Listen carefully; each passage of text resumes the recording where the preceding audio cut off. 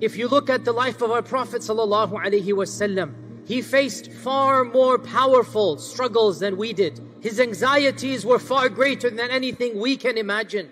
And Allah subhanahu wa ta'ala revealed at the very first major crisis of his life, of his spiritual life, Allah revealed a surah that will be the subject of our khutbah today because it deals with how to grapple with anxiety and stress.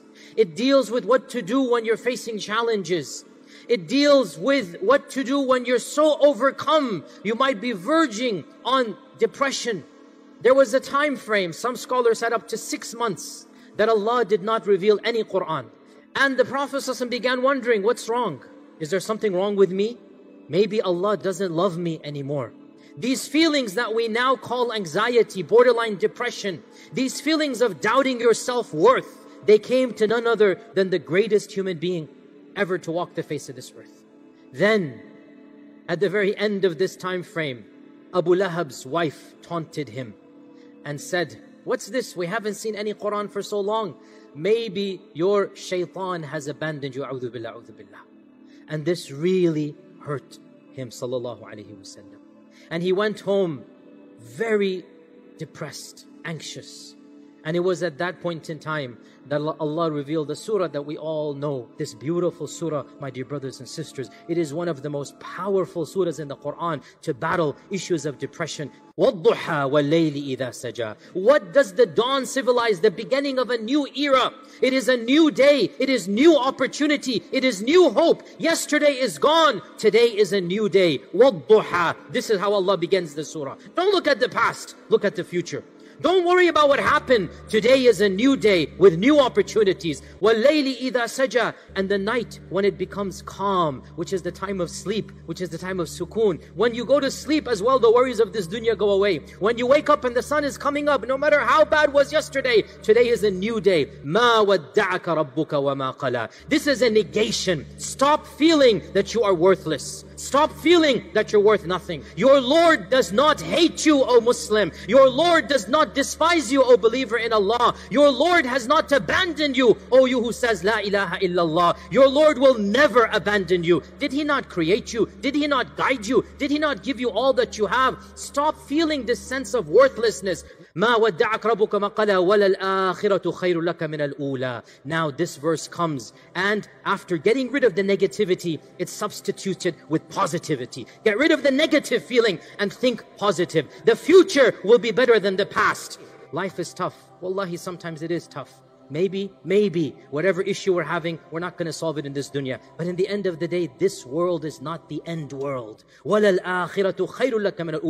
forward to the akhirah, the eternal world. Don't concentrate on this dunya.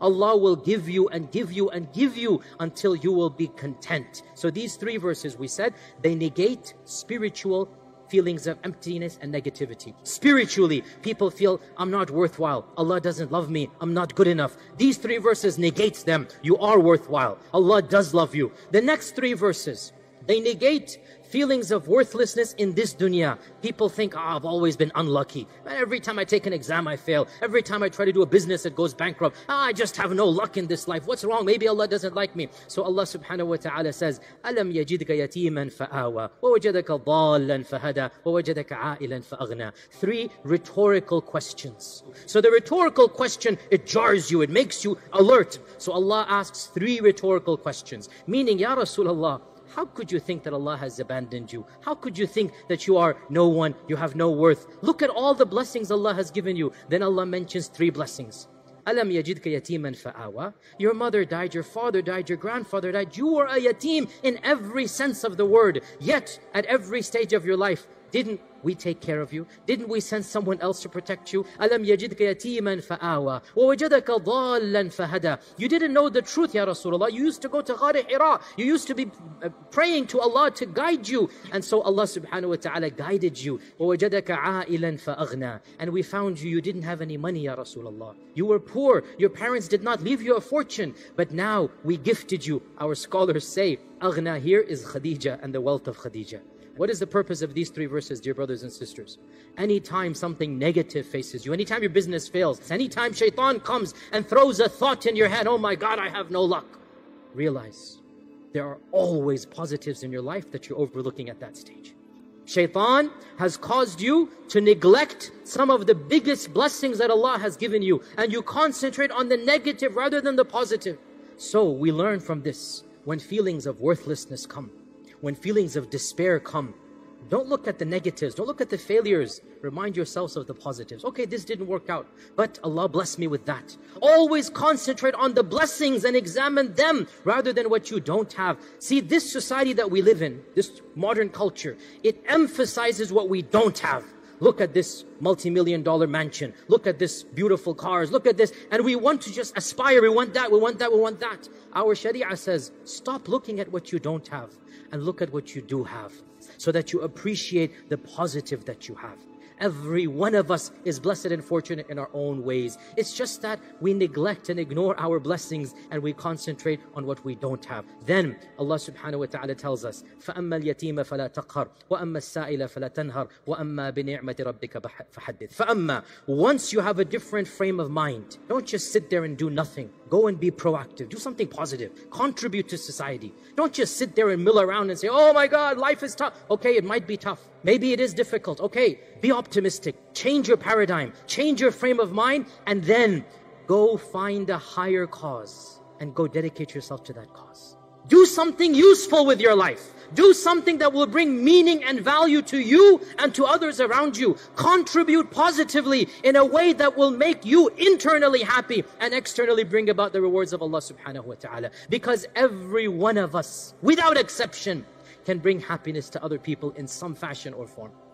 You have a hard heart, your life lacks meaning, you're getting lazy spiritually, you don't have a higher purpose, go find an orphan, show some love because when you're battling with depression, when you're struggling with issues, it's difficult. Life is difficult, no doubt about it. Find somebody else and share their pain with your pain.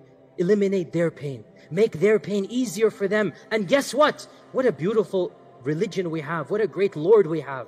When we give happiness to others, Allah gives happiness to us free of charge. Subhanallah. And then the final verse, وَأَمَّا بِنِعْمَةِ رَبِّكَ فَحَدِّث The first meaning don't speak negative, speak positive. Thank Allah for the good. If you try to count Allah's blessings, you're not going to be able to count them. Don't count the negatives, count the positives. The second meaning, وَأَمَّا بِنِعْمَةِ رَبِّكَ فَحَدِّثْ نِعْمَةِ رَبِّكَ here is a reference to the Quran and to Islam because the biggest blessing is the Quran and the biggest blessing is Islam. In other words, the last three verses, it instructs all of us to do two things. Number one, become proactive in benefiting other people. And number two, and be role models of Islam.